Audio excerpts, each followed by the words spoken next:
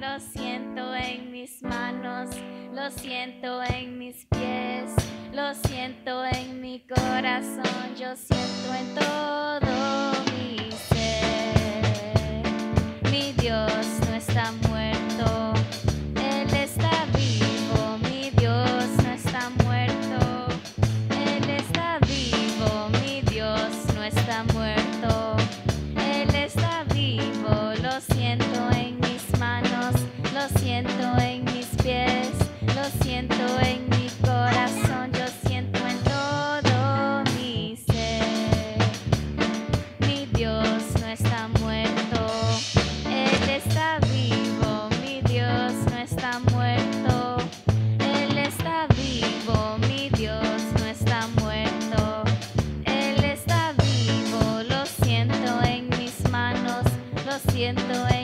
pies, lo siento en mi corazón, lo siento en todo mi ser.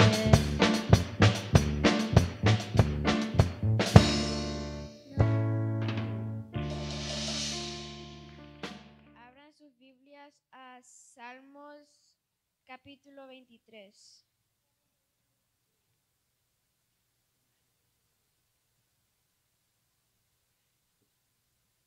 Salmos capítulo 23.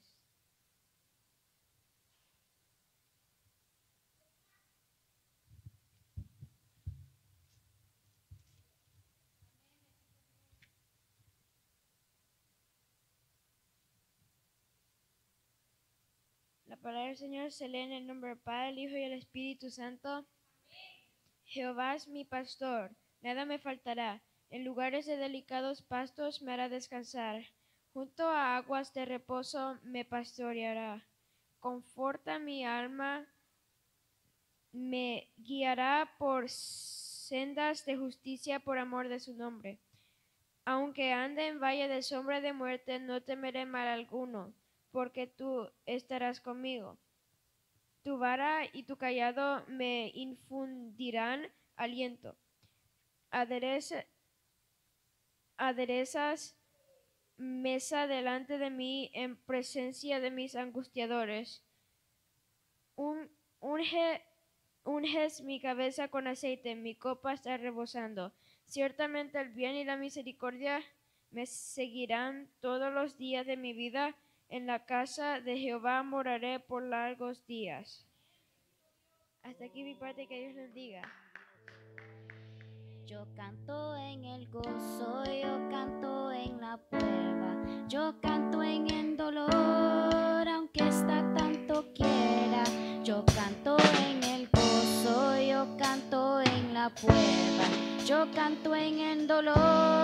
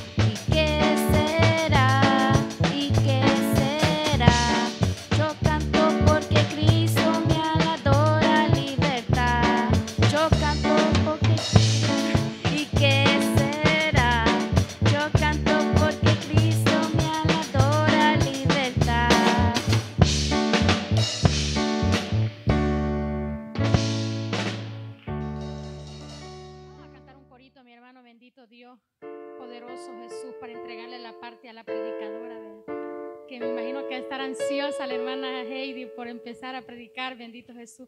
Y nosotros deseosos de poderle escuchar, bendito Dios. Sabemos que Dios tiene algo grande para nosotros, bendito Dios. Poderoso Jesús. Qué bueno es el Señor, qué bueno es, qué bueno es, qué es el Señor que mis pecados perdonó. Qué bueno es el Señor, qué bueno.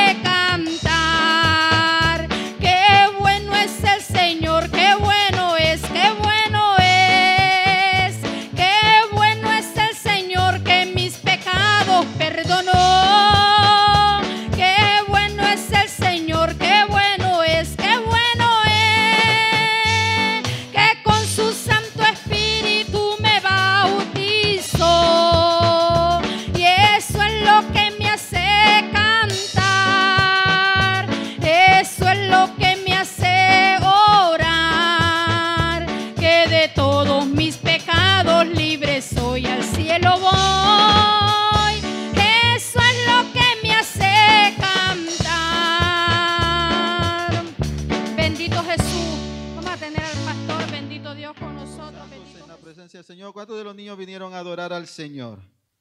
¿Cuántos de los niños vinieron a adorar a Dios? Hemos venido a adorar al Señor, mi amado hermano, bendito Jesús, gocémonos. Así que yo le voy a pedir a mi hermanita Heidi que pase por acá y que ella pues le dé a los niños y a la iglesia, ¿verdad? Lo que el Señor ha puesto en su corazón. Bendito Dios. Gloria a Dios. Te adoramos, Jesús. Voy a pedir que se pongan de pie. Vamos a abrir nuestras Biblias en Juan capítulo 13.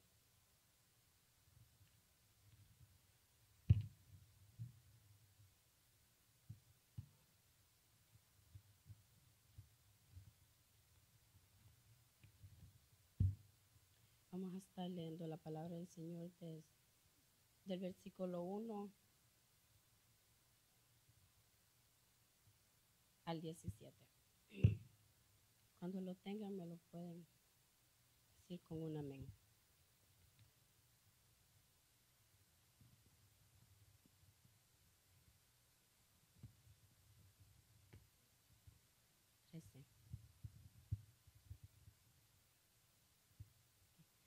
Leemos la palabra del Señor en el nombre del Padre, del Hijo y del Espíritu Santo. Antes de la fiesta de la Pascua, sabiendo Jesús que su hora había llegado para que pasase de este mundo al Padre, como había amado a los suyos que estaban en el mundo, los amó hasta el fin. Y cuando cenaban, como el diablo ya había puesto en el corazón de Judas Iscariote, hijo de Simón, que le entregase, sabiendo Jesús que el Padre le había dado todas las cosas en las manos y que había salido de, Dios y a Dios iba. Se levantó de la cena y se quitó su manto y tomando una toalla se la ciñó. Luego puso agua en un lebrillo y comenzó a lavar los pies de los discípulos y a enjuagarlos con la toalla con la que estaba ceñido. Entonces vino a Simón Pedro y Pedro le dijo, Señor, ¿tú me lavas los pies? Respondió Jesús y le dijo, lo que yo hago tú no lo comprendes ahora, pero lo entenderás después. Pedro le dijo, no me lavarás los pies jamás. Jesús le respondió, si no te lavare no tendrás parte conmigo. Le dijo Simón Pedro, Señor, no solo mis pies, sino también las manos y la cabeza. Jesús le dijo, el que está lavado no necesita sino lavarse los pies, pues esto, pues está todo limpio y vosotros limpios estéis, aunque no todos, porque sabía quién le iba a entregar, por eso dijo, no estáis limpios todos.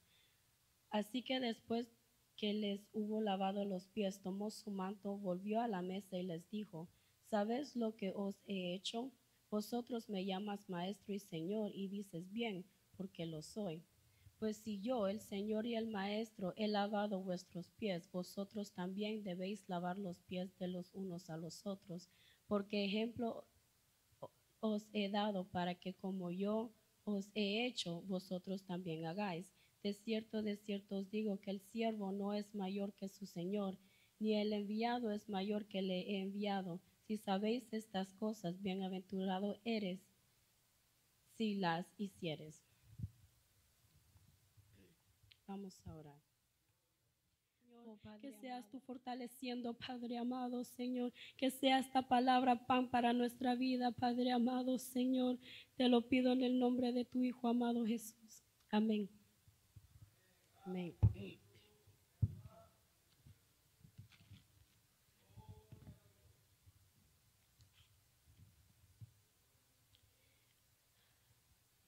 Aquí vemos que el, el, el- el Señor estaba sentado comiendo con los discípulos antes de él ser cru- este, este crucificado. Y dice que entre la cena, él se levantó y se lavó los y él se, se levantó a lavarle los pies a los discípulos. En aquellos tiempos esto era una costumbre de la gente, así como ahora, ¿qué uno hace cuando uno tiene visita?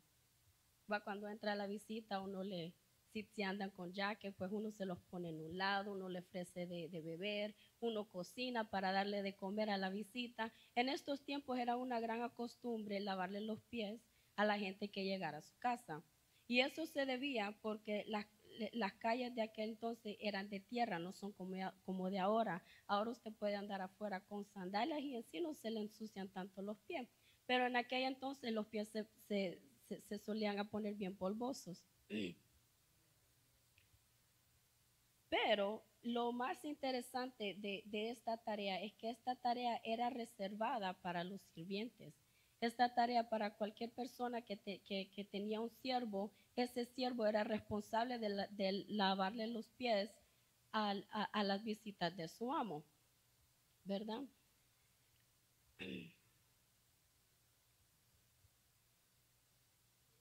Santo Señor.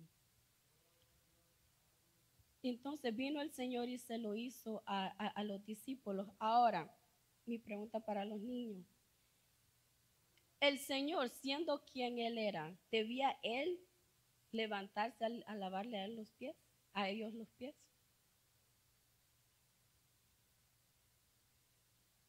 ¿Verdad que no? No debería de ser así. Era, e- e- este acto era de que ellos se levantaran a lavarle los pies a nuestro Señor Jesús. Pero en este, e- ellos, Él les estaba tratando de enseñar humildad a ellos y servitud. ¿Verdad? Pero ellos sabían, porque miren en el verso,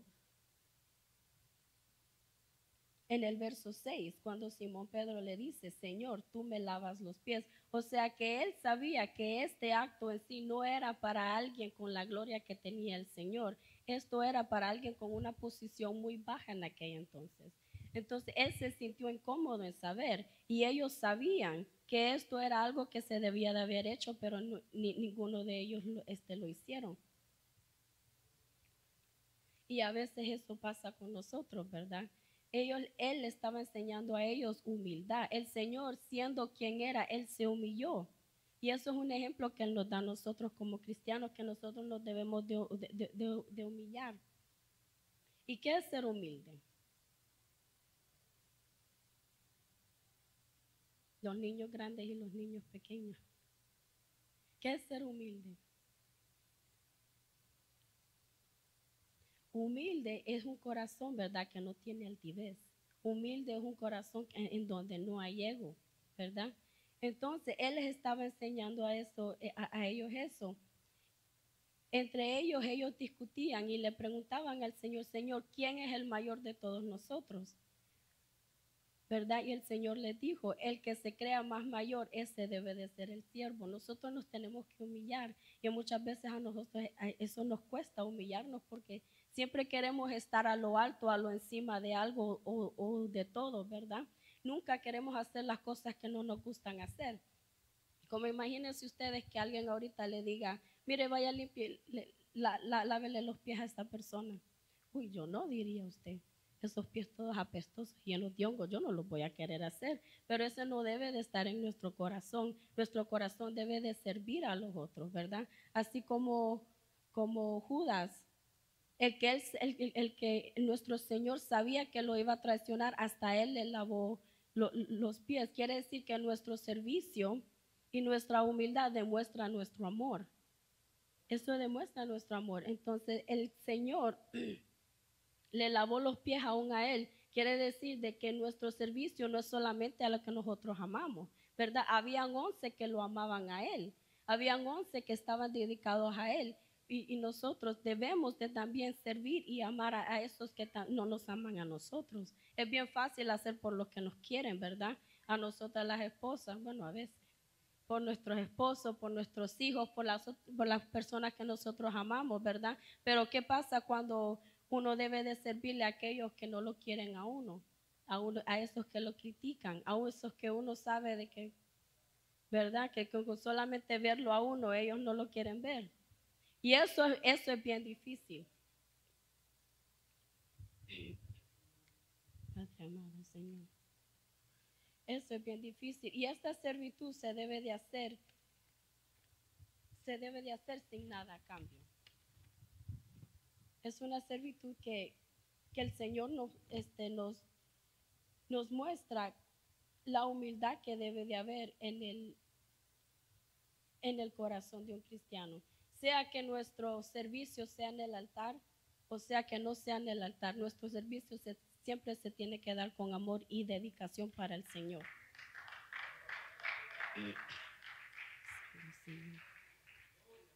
¿verdad? Pero muchas veces no lo hacemos, muchas veces sabiendo que lo, lo que tenemos que hacer no lo queremos hacer. Como dice en Santiago 5:17, y el que sabe hacer lo bueno y no lo hace, le es pecado, ¿verdad? Es algo que siempre le tenemos que pedir al Señor. Este, no, es, no se necesita de que alguien nos pida o nos, como dicen, nos den un empujón. Es algo que debe de salir de nosotros cuando nosotros tenemos esa humildad y ese servicio en nuestro corazón. Amén. Es algo, ¿verdad? Que, que, que para servir a las personas, no hay, alguna gente hasta le pesa, ¿verdad? Si uno le pide a ellos un favor, le dicen, déjame pensarlo, no debe de ser así, ¿verdad? Uno siempre tiene que estar al servicio de otros porque uno siempre debe de estar al servicio de, de, de, otros, así como el Señor fue de servicio para nosotros, ¿verdad? Él se sacrificó por nosotros en la cruz del Calvario y no lo hizo por nada a cambio, ¿verdad? Él mismo se sacrificó por nosotros. Señor. Como dice, ¿verdad? En, en, en la Biblia que el Hijo del Hombre no vino para ser servido, sino para servir, ¿verdad? Así tenemos que ser nosotros con, con, con la gente de allá afuera, siempre demostrando esa humildad, ¿verdad? Porque cuando ellos ven al, altivez en, nosotros, entonces, ¿qué le estamos demo- de- demostrando a ellos? Cuando decimos queremos el carácter de Jesús, este es el carácter de Jesús, es ser hu- hu- humildes en toda cosa y, y en todo lo que hagamos, ¿verdad? Entre más alto nos lleve el Señor, más nos debemos de nosotros humillar a sus pies, porque eh, estar humillados a los pies del Señor es donde nosotros alcanzaremos su gloria. Y este servicio siempre se debe de hacer sin nunca esperar algo a cambio.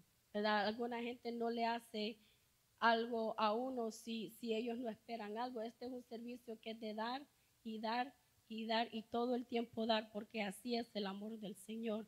Es todo el tiempo dar. Es, él es misericordioso, así como Él es misericordioso con nosotros. Oh, Padre Santo, Señor. Padre amado, Señor.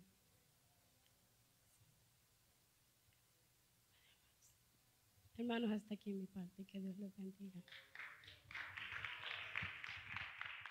Tu Santo Espíritu en su vida. Echamos fuera, Señor, todo dolor, echamos fuera todo cansancio, Señor, echamos fuera, oh bendito Dios, toda confusión, Señor amado, que el enemigo quiera traer, Señor, toda tristeza se va en esta hora en el nombre poderoso de Jesús, Señor, y declaramos, Señor, esa presencia de tu Santo Espíritu que lo llena todo, Señor, ministra con poder, Padre, en esta hora, Señor, seas tú supliendo en medio de la necesidad, en medio de la escasez, en medio de las luchas, en medio de las pruebas, Señor. Mira cada padre, Señor, ayúdanos como, como ministros, Señor, de nuestros hogares, como sacerdotes de nuestros hogares, Señor, a poder guiar a estos niños, Señor, a buen camino, a puerto seguro, Señor, que ellos puedan ver en nosotros, Señor amado, esa figura, oh Padre Celestial, ese ejemplo, Señor, que podamos nosotros poder poner por obra tu palabra en todo momento, Señor.